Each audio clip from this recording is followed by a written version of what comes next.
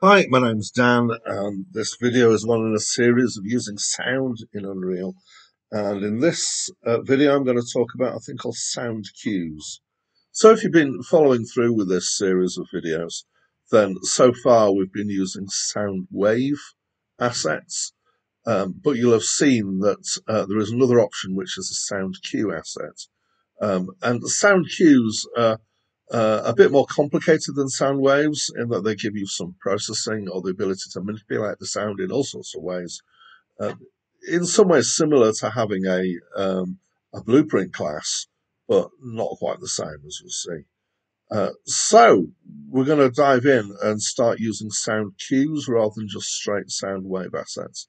So I should have said I've got a third person template map here set up with the starter content and I've got four sounds that I've imported from a website called Freesound, which is just there. Um, so let's have a quick listen to these uh, these uh, sounds that I've imported.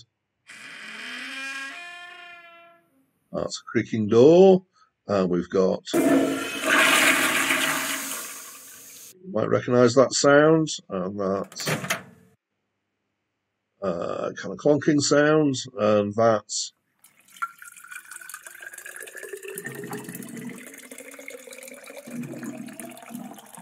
some water being uh, taken out of a water cooler. Uh, we might not use that one. We'll see where we go. Okay, so the easiest way to create a, a sound cue is to take a sound asset, uh, sorry, a sound wave asset, right click on it, and then up here, go to create cue, and it'll create an automatic cue based on it. Um, let's call it, uh, giving it the name, using the, the wave sound, I'm just going to call it uh, bubbles cue. And if we open that up, there's a, an editor which has a graph which looks a little bit like a, a, a blueprint class editor.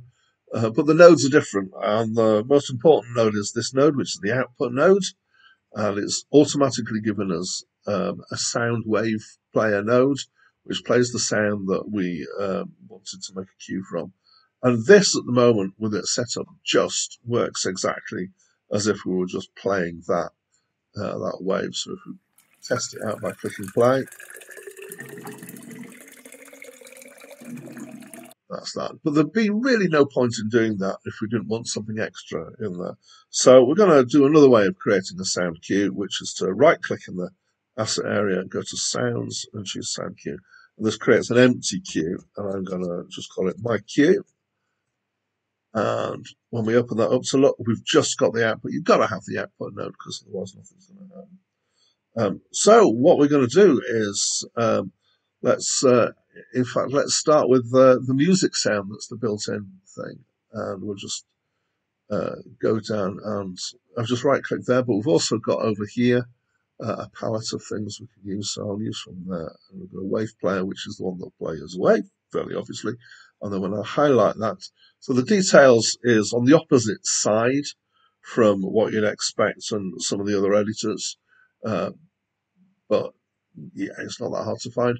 Um, and so we're going to select the sound wave and we're going to use the music, which is starter music. So I can just plug that in to the output and that'll play. We're going to do some more processing of that in a minute. So I'm going to uh, just set up in this pad the um, so that it'll have that cue in as a component and we'll start playing and stop playing as we stand and uh, go off the the pad. So just create an audio node and it's using a sound cue is just like using um, a sound wave and we just choose the one that we want and I call it my cue so my in there that should come up. And we can use the same functions on it. Um, actually it gives us added functions as well but we'll come to some of those in a minute. Uh, so we're going to play when you stand on. Um, and stop when you step off. As always, because I'm doing stuff live, my spelling is worse than normal. That's what I claim anyway. Um, and I want the acts uh, uh, to end overlap. Uh, so we'll just give that a quick test. I'm pretty sure that's going to work. Ah, so I have forgotten to switch off the auto activation. It was a good thing I tested. Uh, auto activate is down there.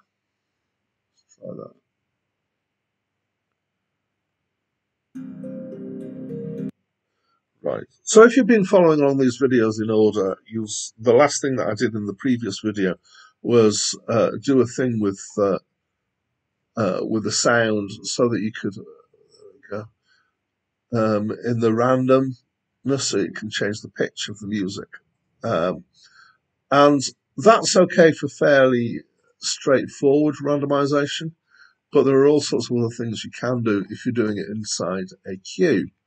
Um, so, as you'll see on this side here, there's loads of different uh, things. There's branches, there's attenuators, there's stuff that I don't know what they do. There's stuff that I can guess some of what they do. Delay, I can guess that that's going to pause playing for a while. Uh, dialogue is to do with the dialogue system, which we're not going to dip into. Uh, Doppler is to do with sounds that change as fast things go past, like sirens that go nino, nino, nino as they go past. Uh, envelope is to do with the shape of the sound. And I'm not going to go through all these, but I'm going to go to the modulator, uh, which is the one that will change either the volume or the pitch. Um, and um, I'm going to actually create three versions of this. So there's the standard version without a modulator, and I'm going to do another modulator there. Um, once again, if we highlight it, we get values on the over on the left hand side. So this gives us a range of pitch, but we want to fix these to an absolute pitch. And I'm going to fix this one to 1.5 pitch, uh, 1.5, which is half an octave up, and uh, volume to 1, so that doesn't vary either. And for the second one, I'm going to change that to 2. And with a bit of experimentation, I've found that I don't seem to be able to get it higher than 2, so we'll stick with that. So that'll be an octave up from the uh, from the original. And we want to choose one of these at random, so we're going to use a random node. Uh, random, which will allow us a random choice. So instead of having a range that I'm choosing randomly from, I've got three discrete choices. i will choose one of those at random. If I play cue, So that's the fast one, that's the slow one, it's the medium one, which sounds like if you're musical, it's say fifth up from the, um, the root note, and it sounds quite pleasing. And we can uh, save that and test that out.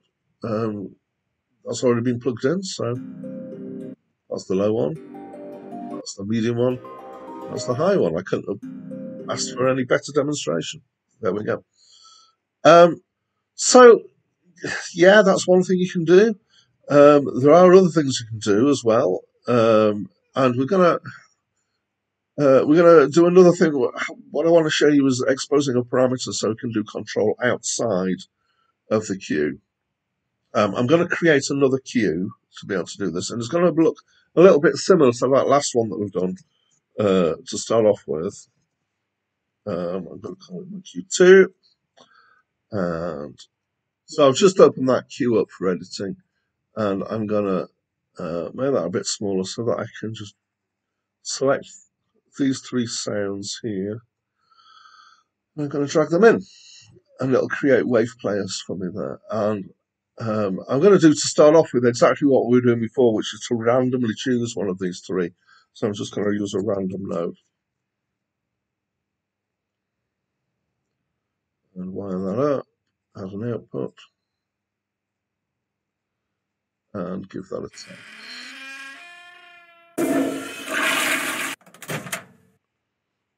Go. And uh, what we need to do is in the pad, because we're using a different cue now, It's just to change which cue we're using. Compile and hopefully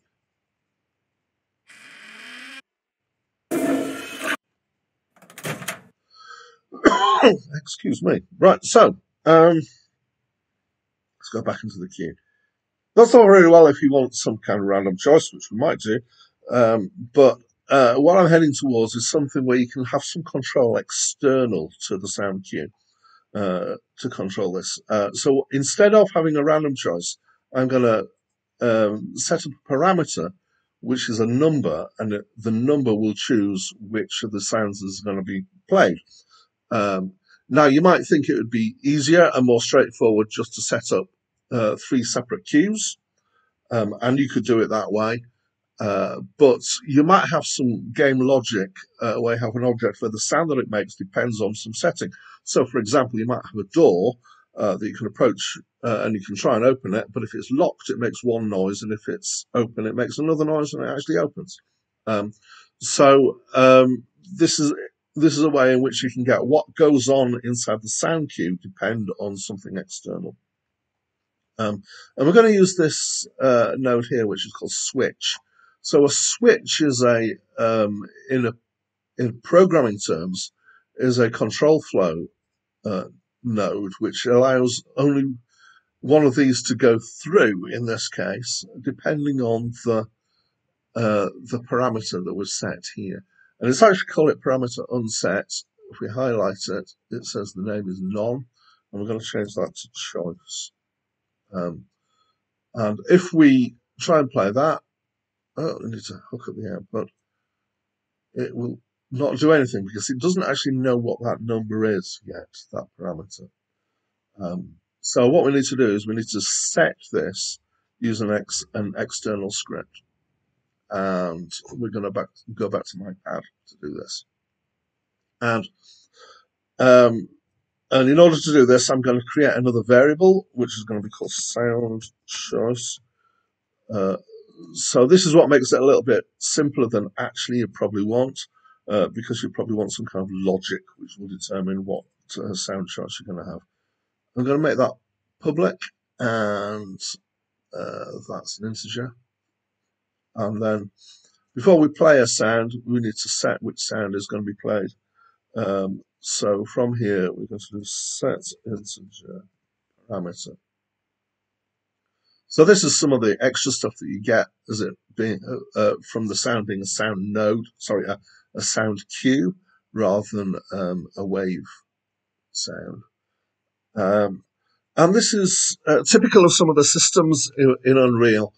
It would be nicer if you could just expose the parameters by name and just plug straight in. Uh, the system doesn't allow you to do that. It's not um, advanced enough yet for that.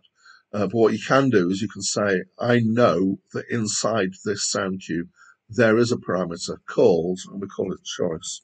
So we need to put the exact name in. And I'm not sure if it's case sensitive or not, so I will fix that.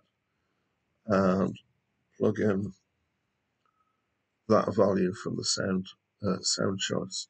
And as we compile, that will give me a, a, default value for the sound choice of zero. Um, so that uh, pad should always now play the zero sound, uh, which is a creaking door sound. There we go. But because we've exposed that as a parameter, I can now take uh, a couple more instances of the pad and change that sound here. So make that number two and that number one. Let's check those out. So that's still the creaking sound. That's my toilet flushing. And that's a microwave door shutting. So that's a quick introduction to sound cues. Um, as a quick recap, you can plug them in anywhere where you could plug in a wave uh, sound, uh, but they give you added functionality that you can use. And in particular, one thing is that you can expose parameters, and we've shown one of those. But as you could see, there was lots of different nodes and uh, things that you could do there. In this series, I'm not planning to go through each of those nodes in turn. Maybe some point in the future I'll do this in more depth, but uh, for now, that's it from me.